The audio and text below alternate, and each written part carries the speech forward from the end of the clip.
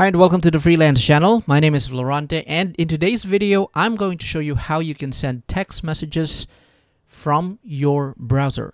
First thing, you have to make sure that you have the Android Messages app installed on your phone. Now, remember, this one is for Android devices only. So I'll go ahead and open Google Play Store and then I'll go ahead and search for Android messages.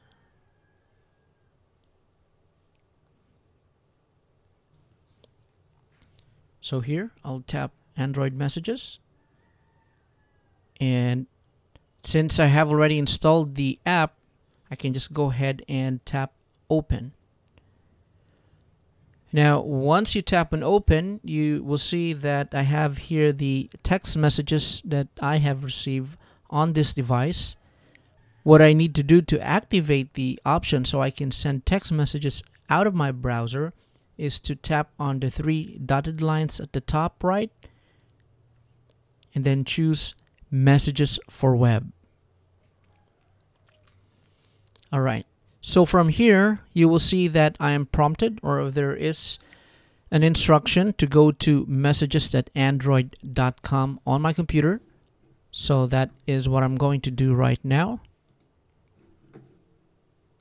So that's messages that android.com. Okay.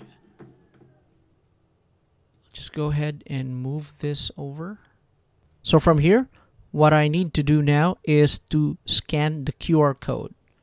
I'll go ahead and tap on scan QR code from my phone and all right so that's it. I am now connected. Now there is an option for you to choose so that you won't have to do this all the time. You would like to send a text message out of your browser or if you log out and turn off your computer you just have to go to messages at android.com and as long as your Android device is connected through the same network as your computer, then you will be able to send text message from here. So right now, I'll just go ahead and click on OK so that this phone will be remembered and it will be paired automatically. And then there are also a couple of settings that you can tweak for your preferences. So here I currently have the dark theme enabled so you can just use that one if you prefer the light theme. But for me I'll go ahead and choose dark theme. The good thing with this feature is that you can use this on multiple devices. However you will only be able to use one instance of this Android messages so if you have this open on one of your computer and then you open it again on another computer, you will be prompted to choose if you're going to use Android messages on that specific device. So here I'm making use of Google Chrome. Let's go ahead and try out if we can turn it on using Firefox.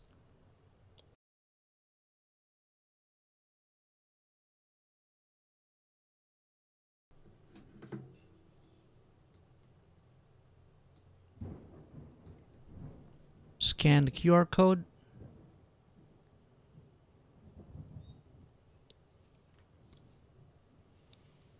And again, there you go.